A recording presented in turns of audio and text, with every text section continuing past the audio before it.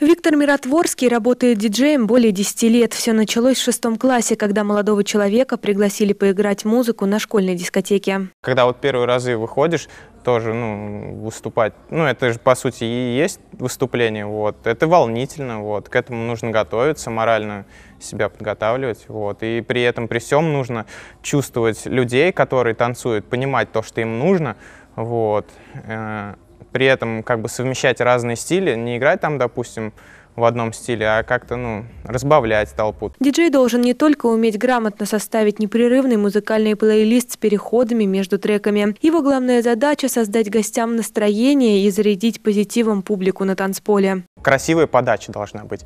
Во-первых, это большой материал должен у тебя быть, который ты ну, знаешь этот материал, уже как бы ты его играл и уже понимаешь, как люди ну, на него реагируют. Вот. Потом правильная подборка под людей, то есть когда они танцуют, ты смотришь, как они двигаются, ты задаешь им ритм. Диджинг продолжает набирать популярность среди молодежи. Еще не так давно это музыкальное направление было для многих новым и малоизвестным. Но с каждым годом все больше юношей и девушек мечтают видеть себя за диджейским пультом. Вообще в народе его путают. Многие думают, то, что это музыкант-композитор, который пишет музыку. На самом деле это не так. Диджей — это тот, кто делает микс, тот, кто сводит треки. Диджейнг не преподают в учебных заведениях. Эту профессию можно освоить самостоятельно. Достаточно иметь при себе необходимую аппаратуру и желание постичь творческое и интересное направление. Редакция нашего канала поздравляет всех диджеев с профессиональным праздником и желает побольше хорошей музыки и зажигательной публики на танцполе.